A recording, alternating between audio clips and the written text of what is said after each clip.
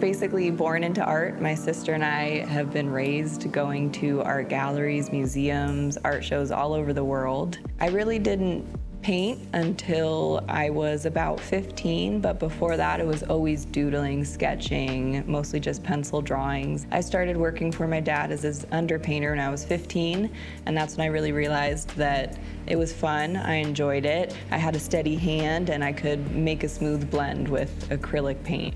Growing up with my dad being a world famous artist really opened my eyes at an early age to the art world, to art history, being an artist, being self-employed with my art for six years now, I'm slowly learning how important it is and how amazing it would be to actually have my work remembered for years to come after I'm gone. I started a painting that is now known as Bite Me.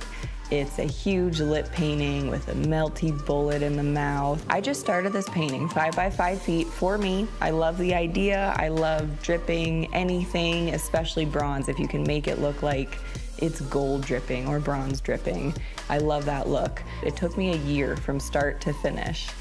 And I didn't think anyone would like it. Again, it was just something that I did. It wasn't a commission. It wasn't really something I thought uh, hundreds of people would enjoy like they do today.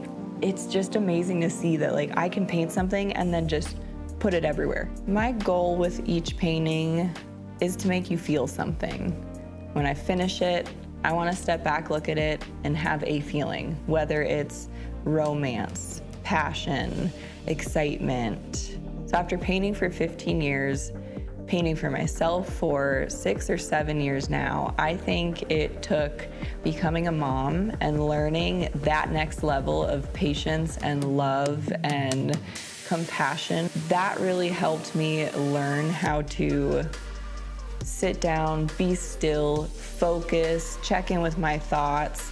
And it's all while I am working from home with my baby. My studio is at home, she's with me almost 24 7. She's with me in my studio while we paint together, keeping me on my toes, but I can still manage to get some photorealistic paintings in, some wrinkles in hands, while a baby's either on my hip or crawling around my studio, pulling on my chair, laughing, crying, you name it. It's a whole nother level of patience.